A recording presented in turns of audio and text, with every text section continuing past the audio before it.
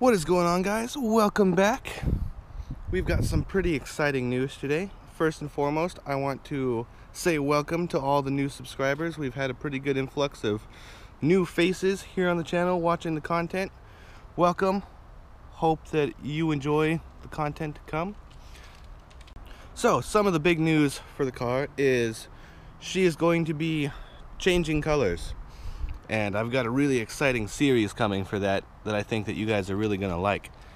So we're going to be vinyl wrapping the car and doing a pretty cool color. The color being this super awesome like dark gray, super glossy like it's it's got like in some Italian name like Grigio Tesla or something. I I couldn't pronounce it, so it's some dark gray is what we're going. So the plan for the series for this wrap is going to be I'm going to be ordering bits and pieces of wrap at a time to keep the cost down and wrap the entire car a little bit at a time, you know, such as we're going to do a hood, then we're going to do fenders, and then we're going to do a bumper and stuff. Slowly over time, car's probably going to look really tacky until it's finally done. But I'm doing that in order to show you guys how to wrap the pieces of the car and basically show you how to keep the cost down. A lot of um, professional wrap shops will charge two to three thousand dollars depending on what color and, and material and stuff you choose for your car to be wrapped and after going through and doing some of the math and accounting for all the mess ups and stuff that I'm probably going to do doing it myself the material is going to cost me around $500 to wrap my entire car myself so I mean, the savings there is huge. It's just I'm probably going to mess up a whole bunch and I'm probably going to seek a lot of help from actual professional wrappers. So I don't know. It should be fun though. Should be very entertaining. It'll be nice to be able to like actually go through and wrap everything and, and show you guys how to do it. So, as an introduction to that series, we're going to be removing the mirrors and the mirror caps to show you guys how to take those off, get them wrapped up, and this will be the beginning to that series. So, let's get into it. So, first thing you want to do to remove this mirror cap here and this mirror lens here is come up to your mirror. The only tool that you're going to need to take this cap off is a flathead screwdriver or like a little pry something to push a tab to the left. The left? The left. Yes. Okie dokie. I'm not gonna lie, this is a really, really scary process just because the tabs that are held on this mirror cap, if you tug a little too hard, they have a history of cracking and making tiny holes on the outside of right here. So it's one of those gentle yet forceful kind of removals, I guess you would you would call that, yeah, removal. Anyways, here's how you begin the process. First thing you want to do is come up to your mirror cap. Every car I've ever owned takes this mirror lens off the exact same way. So if you don't have a 135i, you got another BMW, like it should come off relatively the same. You want to take your mirror, push it as far in as possible so you create this little space here. You want to kind of shove your fingers in the back of this corner. It's a really, really tight fit and just kind of pull towards you. Pull that way.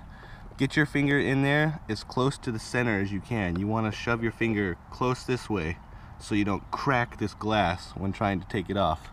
If you have tiny hands, then this is going to be super easy for you, but I do not. I've got these fat sausage fingers, so it's really hard for me to get in there right. Ugh. But like I said, be firm yet gentle because it'll just snap out just like that. And it's kind of a scary noise, but don't pull all the way out. Once you've got it unsnapped and it's coming down, you'll see it's got a power supply connected to it. I like to kind of pop this out of its brackets just so I have a little bit more tension. I'm just gonna leave that hanging for a second very gently. Notice here that this clip is kind of pushed in it's actually a little bent. I'm gonna need a screwdriver to unclip this. But this clip it's going to seem really hard to unhook because it's got rubber gaskets waterproofing the electrical connection that fit really snug inside this little housing here. So be careful and finesse it a little bit to take it out. Okie dokie, you can see that I've gotten it out. That little red ring there, you can see, is that little rubber gasket. I just kind of put a flat head right here on the little clip and just, I don't know, kind of it's easy to pull out. I don't really need to explain that. So, set your mirror aside and you'll see clip one. Oh man, this is really dark. Clip one, clip two, clip three, and clip four. Right down in there. You're gonna take your flathead screwdriver in here, push these clips to the left while using your other hand from the top of the mirror cap to kind of pull this way. You'll see it'll move just slightly. Definitely need two hands to do this because you don't want to crack and break anything, but you'll see as I push, it'll move slightly. So you want to deactivate these clips little at a time on one side and kind of keep pushing until it starts to want to move away. You can see now I'm starting to get a little slack here that's moving. So I'm going to come over to these clips start releasing them a little bit. You'll start to feel a bunch of movement in this mirror. So once the cap is starting to come off a little bit I like to kind of give it a little extra encouragement really gently through here. And be as careful as possible not to scratch your paint I'd recommend probably putting a microfiber towel or something over this but for the sake of the video I'm not gonna do that yeah. So you can see here, I'm still just kind of working my way slowly around in a big clockwise circle. And I'm making some progress. It's slow progress, but there's like progress, they're like, the clips kind of look like stairs where it'll go clip, clip, clip.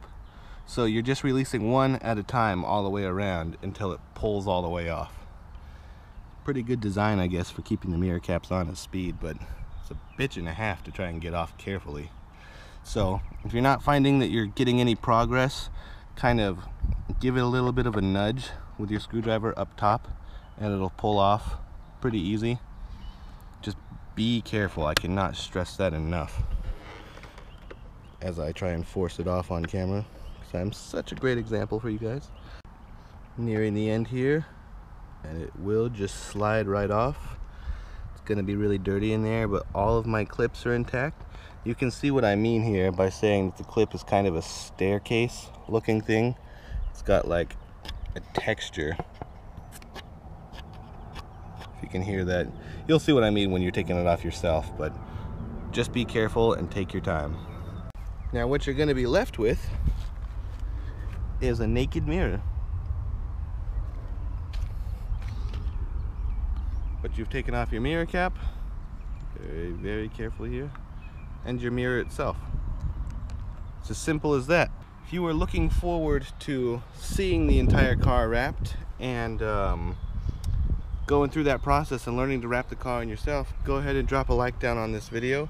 Subscribe for the series to come. I'm starting the, uh, the first video today on wrapping these mirror caps. So, until next time, I will see you guys later.